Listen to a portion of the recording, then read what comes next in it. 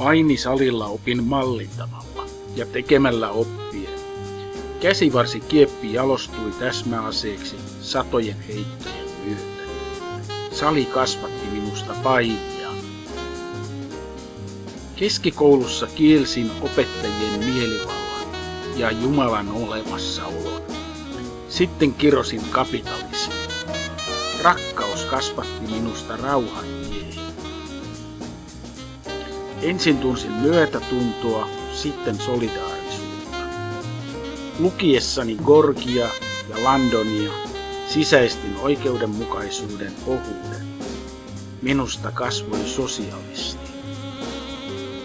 Televisiotehtaalla opin työvoimani olevan tavaraa. Perustaessani ammattiosastoa törmäsin luokkataisteluun. Minä rikoin rajapinnan. Nuorisoliitossa opettelin ajattelemaan ja toimimaan itsenäisesti.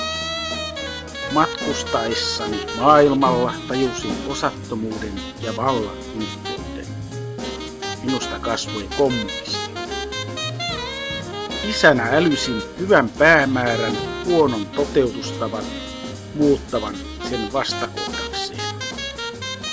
Kulutuskapitalismi ja kulutussosialismi vieraannuttavat. Minusta kasvoi ekokommunisti. Talouskasvun riippuvuus lienee itse tuhoisin persoonallisuushäiriö.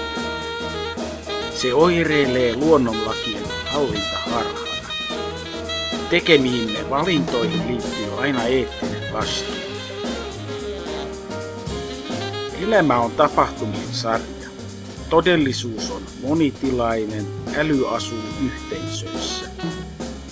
Kokonaisuuden hahmottamiseen tarvitaan enemmän kuin yksi ihminen.